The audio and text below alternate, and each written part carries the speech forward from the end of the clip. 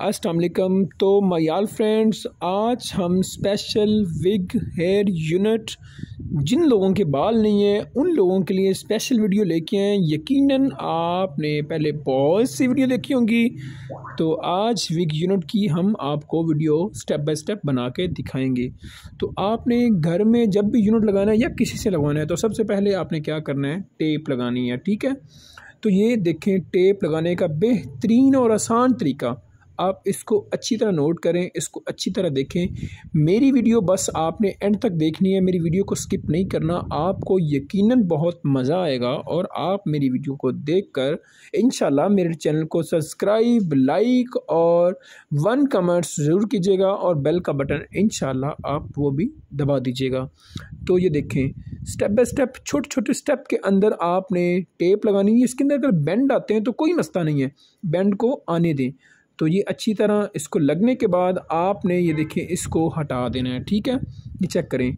ऊपर वाला पेपर हम हटा देंगे और आपको हम यूनिट लगाने का तरीका बताएँगे। आप घर के अंदर इजीली इसको लगा सकते हैं। In real natural look hairstyle तो अभी हम आपको लगा के दिखाते ये देखें ज़रा। सर देखें फ्रंट देखें। इसके दरमियान से हमने बाल काट दिए हैं। आप अगर ख़ुद लगाते हैं तो आप किसी सैलून से कटवा सकते हैं या आप ख़ुद भी ये कर सकते हैं। तो जब भी यूनिट लगाना है, हमेशा याद रखिएगा फोर या थ्री फिंगर के ऊपर आपने अपना यूनिट सेट करना है। तो ये चेक करें। फोर फिंगर के ऊपर हम रख के आप शीशे के सामने ख़ुद भी खड़े होकर लगा सकते हैं। तो ये देखें हमने अभी इसको पेस्ट करना है। फ्रंट फोर फिंगर पे रख के हम इसको हल्का हल्का दबाएँगे। ये चेक करें।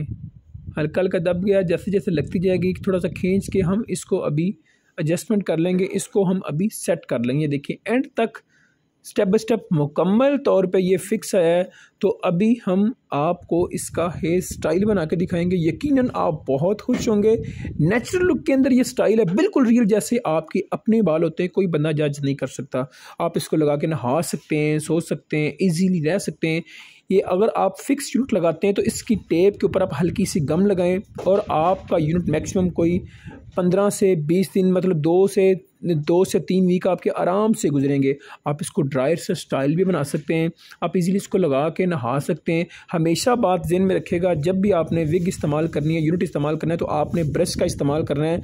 कंगा आपने यूज़ नहीं करना और इसको शैम्पू भी आप हल्की सी कर सकते हैं और कंडीशनर के साथ इसको वॉश करेंगे तो आप ज़्यादा बेहतर रहेंगे, ठीक है? ये फ्रंट देखें, बिल्कुल भी पता नहीं चलता, जैसे आपके रियल नेचुरल बाल हैं। ये देखिए लाइन भी बिल्कुल वाजह नज़र आ रही है। ये हमारे एक दोस्त हैं बड़े अच्छे, उन्होंने हमसे यूनिट लगवाए उनके बाल नहीं बेचारे बहुत परेशान थे। तो आपकी भी परेशानी ख़त्म हो सकती है। तो ये अब हम इसको हल्का सा स्प्रे के साथ सेट करेंगे। तो आप इसको चेक करें। हल्की सी स्प्रे लगाएँगे ताकि इनका स्टाइल स्टिल रह सके। इन्होंने जाना है कहीं तो इन्होंने कहा था कि हमारा स्टाइल स्टिल रहे। तो ये देखिए, बिल्कुल जैसे आपके नीचे वाले और ऊपर वाले बालों को चेक करें, बिल्कुल रियल बाल साइड से चेक करें।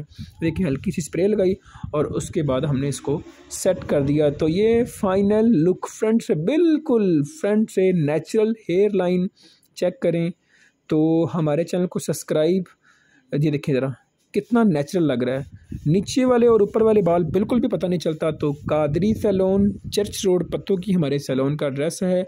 आप आ सकते हैं विज़िट करें। इन आपका हम बहुत अच्छा वर्क करेंगे। बिल्कुल आपकी खूबसूरती की